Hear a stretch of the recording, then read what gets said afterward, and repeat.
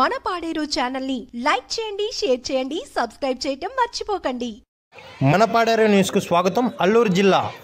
మన్యం గొంతెండుతోంది. అల్లూరు సీతారామరాజు జిల్లా పాడేరు మండలం కొత్తపాడేరులో మంచినీరు లేక తీవ్ర ఇబ్బందులు ఎదుర్కొంటున్నామని పాడేరు ఐటీడీఏ ముందు గ్రామస్తులు ఖాళీ బిందెలతో నిరసన వ్యక్తం చేశారు.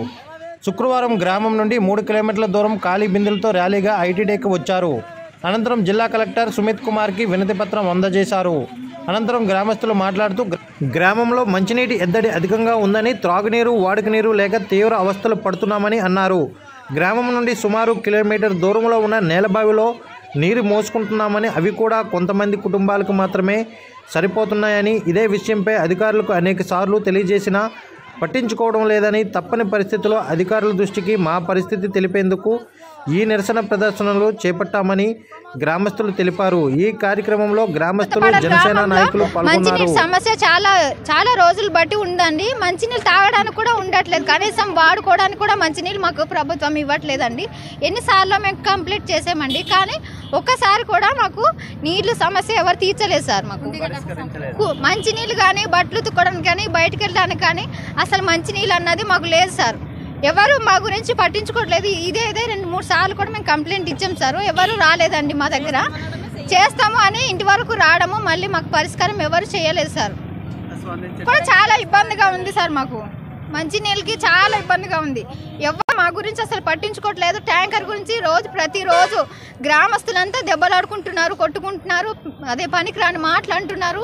ఇచ్చేవాడు కూడా మాకు కరెక్ట్గా కాదండి. గవర్నమెంట్ గవర్నమెంట్ ఎంప్లాయ్ అంటే ఇచ్చేటివాడు ఒక రోజు ఇస్తే నెల రోజుల తర్వాత మాకు వాటర్ ఇస్తున్నారు సార్. దానివల్ల మేము పిల్లలు మేమందరూ చాలా ఇబ్బందులు పడుతున్నాం. చాలా గడపలు ఉన్నాయి సార్. చిన్న ట్యాంకు. చిన్న ట్యాంకర్ ఇచ్చారండి. ఊరు గ్రామం మొత్తానికి సరిపోవాలంటే సరిపడదండి. అది నెల రోజుల వరకు ఇస్తున్నారు.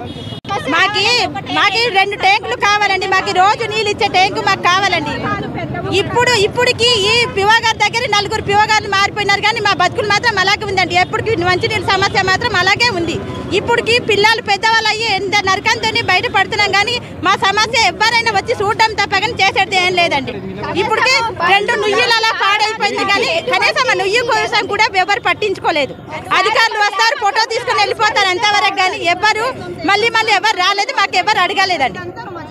దయచేసి దయచేసి ఇప్పుడన్నా సరే మాకు గుర్తించి కనీసం ఇంకొక టైం కట్టి మాకు మంచి నీళ్ళు ఇవ్వండి.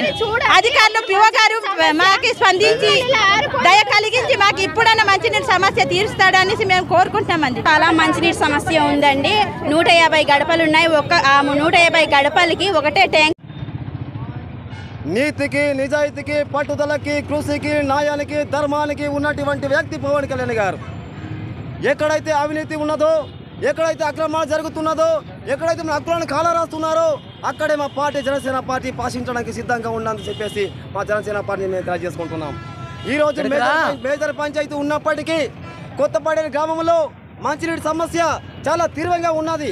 కావున ప్రజాప్రతినిధులు దీన్ని వెంటనే పరిష్కరించి పరిష్కరించడం లేని ఎడల మా జనసేన పార్టీ నుంచి రాబోయే రోజుల్లో ఉధృతం చేయడానికి మేము సిద్ధంగా ఉన్నామని చెప్పేసి